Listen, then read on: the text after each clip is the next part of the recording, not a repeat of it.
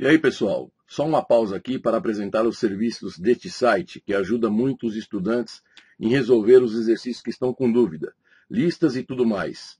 Professores altamente capacitados e com inúmeras indicações. Essa era a questão 1. Então, na questão 1, nós temos que construir, calcular as reações de apoio, construir os diagramas dos esforços internos, força normal, força cortante e momento fletor. Então, aqui, nós vamos calcular, primeiro indicar quais são os apoios, né? Então aqui eu tenho um apoio D, que eu vou chamar de DY. Aqui eu tenho uma reação horizontal, que eu vou apontar para a direita, que eu vou chamar de DX. Aqui eu vou ter uma reação vertical, que eu vou chamar de AY. Então, fazendo soma de forças horizontais igual a zero, nós já vamos encontrar o valor de dx aí soma de forças horizontais igual a zero, dx para a direita, 25 para a esquerda, então daqui a gente já vai tirar que dx vale 25 kN. Então nós já encontramos a primeira força atuando, atuando no apoio D. Depois, vou fazer soma dos momentos em D igual a zero. O que girar no horário eu vou convencionar que é positivo. Então aqui vai ficar esse 40 vezes 0,9 girando no sentido horário, mais 40 vezes 0,9. É, esse 225 vai girar no sentido anti-horário, menos 225 vezes 1,2. Vou aproximar um pouquinho mais aqui para poder observar melhor. Esse 80 também vai girar no anti-horário, menos 80 vezes 2,7. E o AY vai girar no horário, mais AY vezes 3,6, igual a zero. Então, daqui a gente já vai tirar aqui 3,6 AY é igual 40 vezes ponto 9, 36. 80 vezes 2.7, 225 vezes 1.2, subtraindo de 36, isso aí já vai dar 450. Então, o valor de AY vai ser igual a 125 kilonewtons. Então, já encontramos o valor de AY. Tanto faz fazer momento primeiro, força vertical, vai dar a mesma coisa. E vamos fazer soma de forças verticais igual a zero, a y mais dy menos 80 menos 225 menos 40 igual a zero. Substituir o AY aqui, que é 125, então nós vamos encontrar dy igual a 220 kilonewtons. Então nós já resolvemos a reação de apoio. Aqui, observa que essa força, essa força normal de 25 kN ela está entrando na barra, então ela vai ser negativa. Eu já vou apontar essa força aqui.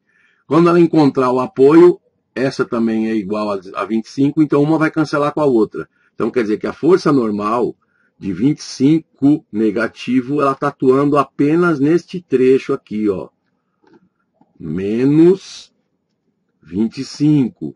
Ela só atua no trecho onde existe o apoio e aquela outra força que está entrando na barra, que vale 25 também.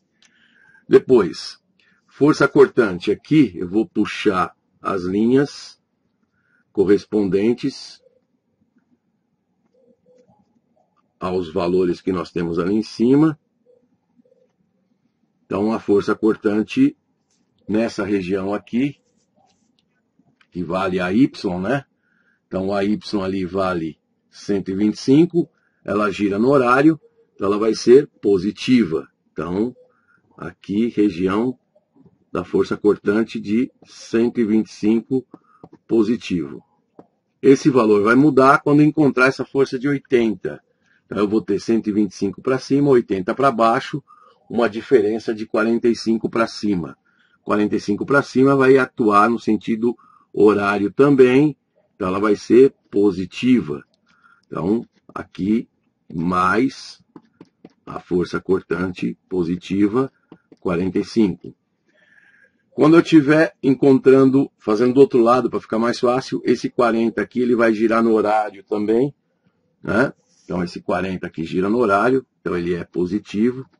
Então eu vou marcar aqui 40 no sentido horário positivo.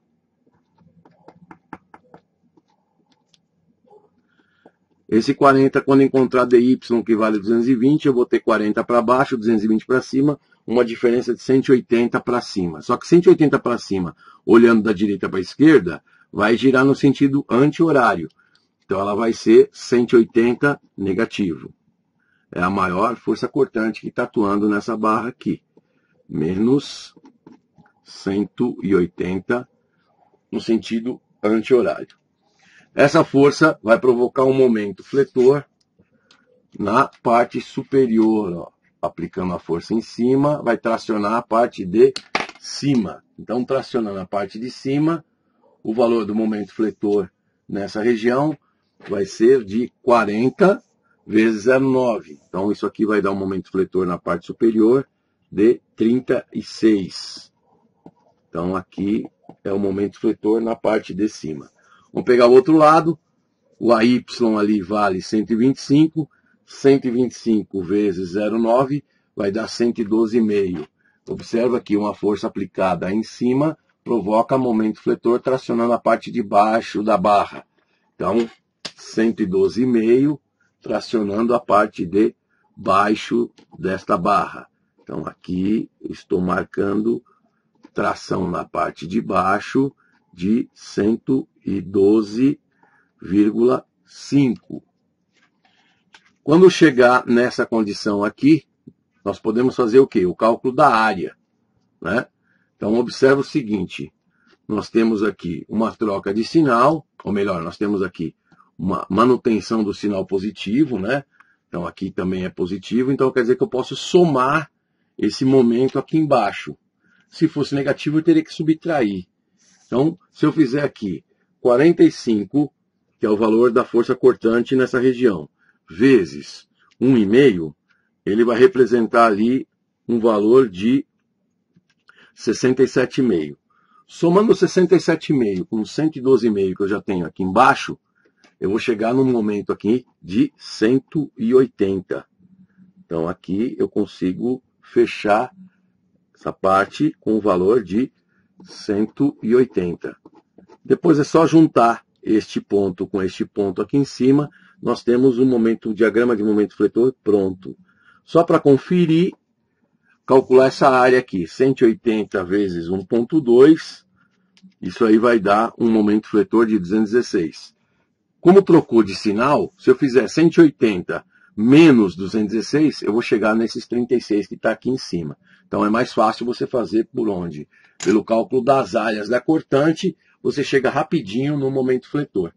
Então, com isso aqui, já está resolvido também a questão 1, que era o cálculo das reações de apoio e a construção dos diagramas, tanto de força normal, força cortante e momento fletor.